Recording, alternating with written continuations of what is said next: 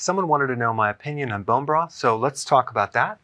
Um, you know, people eat a lot of muscle from the animal, but they don't consume the rest of the animal. They're eating a lot of meat from chicken or beef, lamb, pork, etc. And the problem with that is that the muscle is very high in methionine, which is an amino acid. Bone broth will give you glycine and a different profile of amino acids. So at least doing bone broth, you're getting another part of the animal. But I also recommend um, consuming some of the organ meats as well. Liver is the easiest to consume. You can get that in a pate. You don't need to consume much of it, but at least you're getting more of the whole animal. And when you're consuming more bone broth, you're getting more glycine.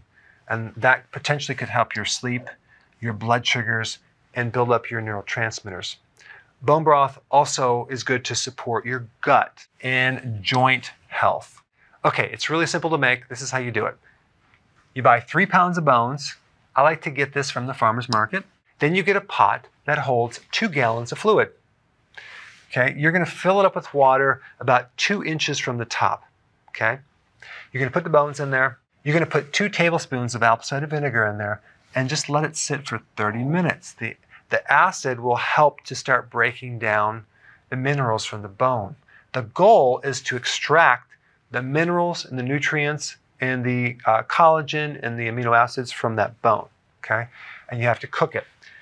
I also add herbs, spices, um, vegetables, sea salt in there, and then I bring it to a boil and then bring it down to simmer for about 10 to 24 hours. The longer you go, the more nutrients are extracted.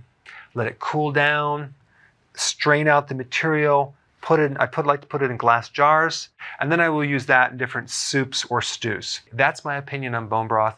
Thanks for watching. Hey, if you're liking this content, please subscribe now, and I will actually keep you updated on future videos.